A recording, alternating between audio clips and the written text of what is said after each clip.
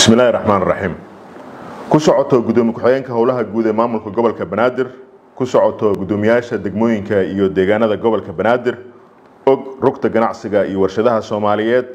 agaasimaha waaxda xiriirka degmooyinka afhayeenka maamulka gobolka banaadir agaasimaha guud ee howlaha guud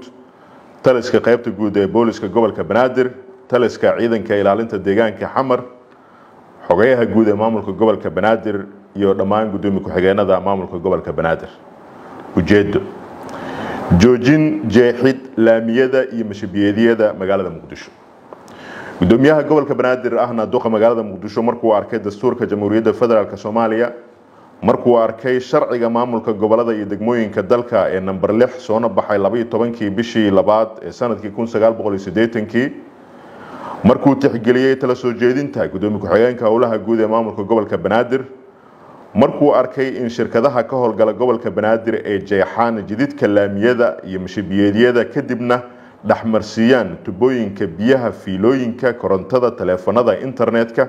taasoo sababta burbur ku yimaada waddada markuu ogaaday in bulaacadaha laga qodanayo mashabiyadiga iyo laamiyada dhexdooda waxuu soo saaray amarkan laga bilaabo maanta oo taariikhda ku beegan tahay shanta bisha lixaad sanadka